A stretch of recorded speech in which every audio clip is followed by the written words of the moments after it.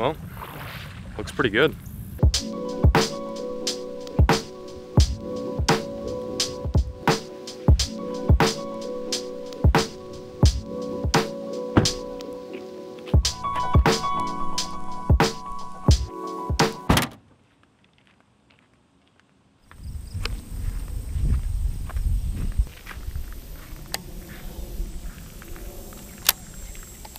There's actually quite a few fish in this area.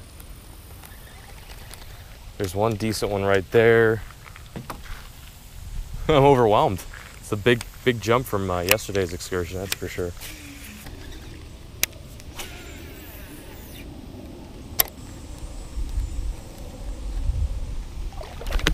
Oh, I got one. There we go. There we go. Boom. that feels good. After two days straight of just not getting into any fish, this really does feel good. No giant, but it's a lot, a lot better than what we were working with uh, the past few days. You know, with this clear water, the first thing I kind of picked up was a drop shot, but being that there is some grass and some emerging grass, meaning there's grass on the surface, I decided to pick up the frog. And this is probably my fifth or sixth cast, so that's a super good sign. Not the big one I'm looking for, but hey, I'll take you all day, buddy. Okay, time for an epic Clearwater release.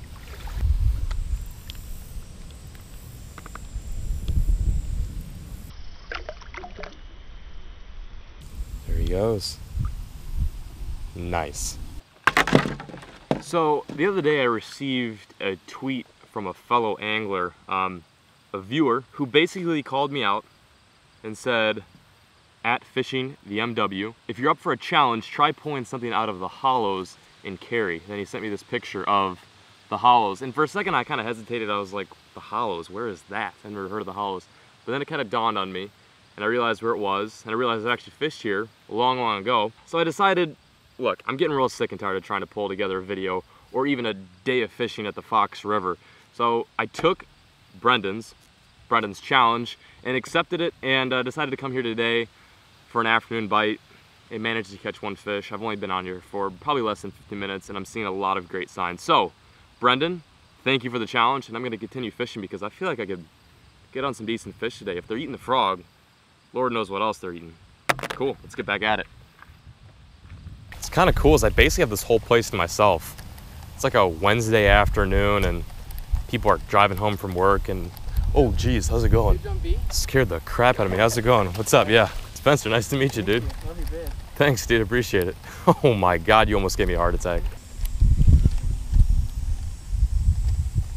Oh, that's funny. Anyway, um, I totally forget what I'm saying. Nice cast there, Ace.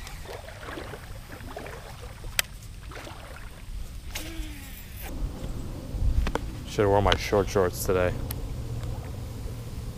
Would have been ideal for wading. Oh, that's a good one.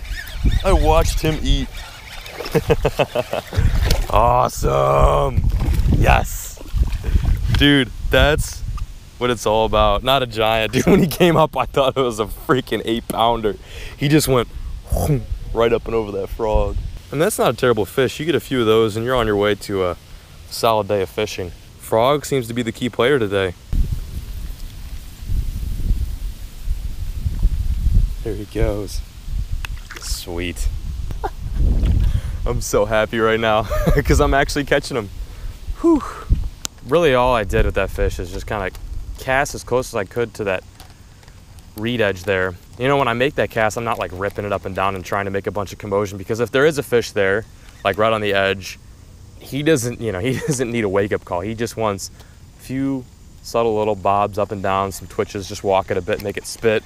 And that's just enough to drive them crazy because all that looks like is like a little red-winged blackbird or an insect that's fallen from the, uh, the tops of those reeds and now is struggling like right there. I'm not even moving it much. Like that fish hit it when I was just pulling it out. Like I didn't even started moving it yet. I love it when they eat it like that. Super tight corners, pitching. and skipping frogs.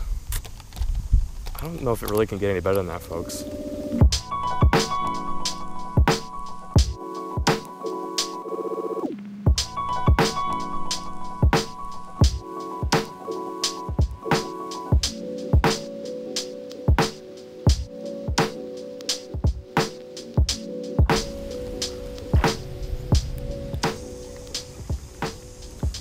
Oh, I got one.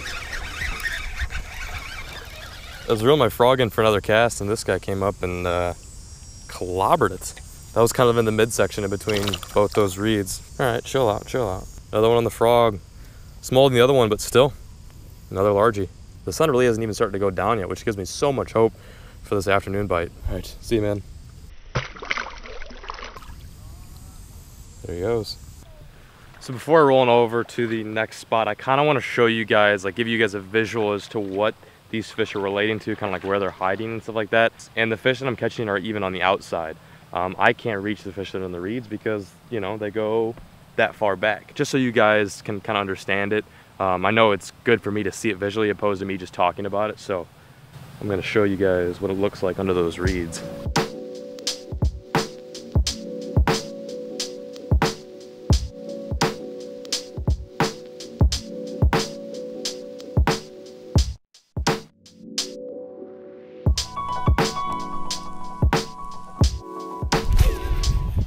Go. There. It's not bad. It's kind of where I wanted to be. I got him. Ooh, right on the edge. He's barely hooked. Saw him busting over there. That's an okay fish. Oh, look at that. Look at that, folks. I came out here expecting to get like one or two decent bites on a drop shot. and uh, much to my freaking surprise, they're munching frogs. I threw that thing out on like a windy flat, just on a little weed edge. I'm I'm so happy right now. I'm just so happy that they're eating. Not only are they eating, but they're eating on top too. That's a healthy fish right there. That's kind of like the stuff I'm going for. See you, dude. Dude, it feels so freaking good to finally catch some decent fish. Two days in a row, I had some kind of difficulties, both on the Fox River. Wasn't able to catch any fish. Wasn't really able to pump out an awesome video for you guys. I have a feeling this one's probably a little bit better. Feels good to catch fish. Like regardless of the whole filming portion of it, it just feels really good to be out here and sticking into some uh, some freaking meat, especially on the toad too.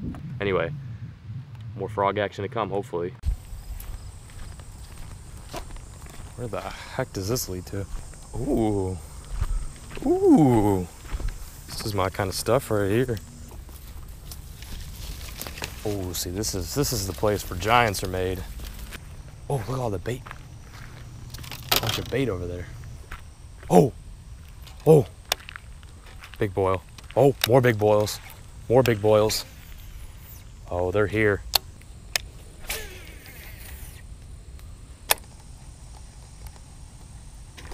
Oh, I saw it. I knew it was coming.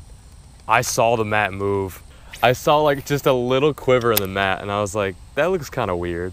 Sure enough, here comes sassy Sally right up out of those freaking, I don't even know what I'm saying right now. I sound like an idiot. He missed it completely though. That's a daggone shame because I would have loved to have caught her. She's about two maybe. Oh my God, that was a big.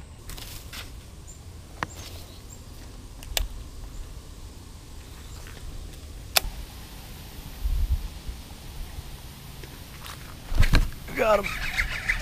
Oh boy. Oh man. Hit it like an eight pounder.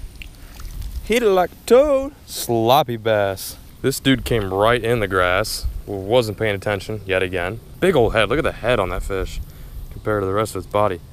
Healthy looking fish, man. Healthy looking fish. Saucy little dude. Get back at it. Keep eating those frogs. Oh, there you go. That was. That's going to be some epic slow mo content right there. Oh, the water's so freaking cold.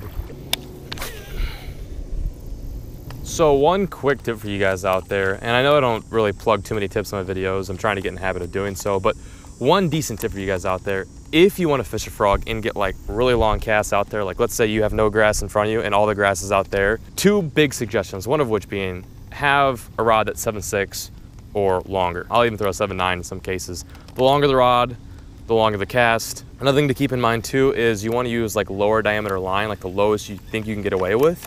I know a lot of guys like 65, sometimes even 80 pound freaking braid. But when you're doing stuff like this, it's not bad to like downsize. That way you're gonna fit more line on your spool and also um, thinner line will fly off the spool a little bit easier than that heavy bulky 65 or 80 so you know 40 50 i don't go any higher than like 55 you're probably pretty good. I mean it's not like i'm fishing delta material here. This is this is not too sketchy stuff. I mean you could really even get away with 30 two main tips on getting really long casts out there if you're fishing a frog because if i was using a little 6'9 a little six foot a little five four chub stick then there's no way i'd be able to reach that grass out there. Just something to keep in mind, folks. Just a quick tip for y'all. All right, well, I'm gonna head on out of here. I had an awesome day. I didn't really expect much from fishing in a place like this that gets pressured pretty much on a daily basis. It's a small body of water, it's clear water, and uh, it takes a beating, but I had an awesome time out here. Huge shout out to Brennan for challenging me, and uh, Brendan's his name, right? I think it's Brennan, I don't know, I forget. Give me a challenge suggestion in the comment section below. I really want to hear what you guys have to say, and I want to hear some of your some of your brilliant ideas because I know you guys got some good ones. Um, this was just kind of like an, a niche challenge just for fun. Anyway, I'm gonna roll on out of here now. Probably go grab a bite to eat because I haven't eaten all day. I just realized it, like it just dawned on me, and I probably should eat.